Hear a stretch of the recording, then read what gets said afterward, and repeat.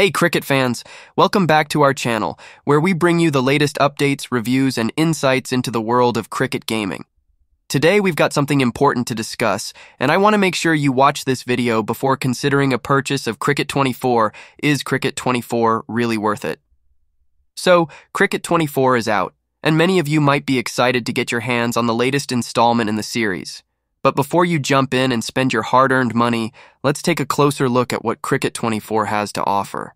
First and foremost, it's important to note that Cricket 24 seems eerily similar to its predecessor, Cricket 22. In fact, it feels more like a patch or update to Cricket 22 rather than a brand new game. The gameplay, mechanics, and overall experience seem almost identical. When we talk about changes in Cricket 24, they are minimal at best. The most noticeable differences include a new menu theme and updated kits for the players. However, the players themselves still appear tall and thin, just like in Cricket 22. These changes are far from groundbreaking and might not justify the purchase of a new game. One notable absence that caught our attention was the lack of an official trailer for Cricket 24. Usually, game developers use trailers to showcase the exciting new features and improvements in a game.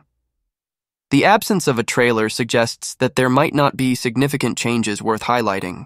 In conclusion, if you were expecting Cricket 24 to be a revolutionary step forward in cricket gaming, you might be disappointed. It appears to be more of the same with some minor cosmetic changes.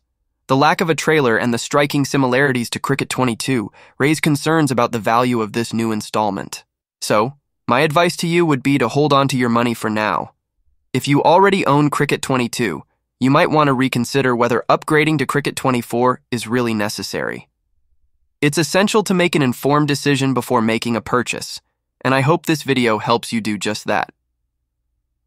That's all for today's review of Cricket 24. If you've played the game or have any thoughts on it, please share them in the comment section below. And if you found this video helpful, don't forget to like and subscribe for more gaming content. Thanks for watching, and see you next time.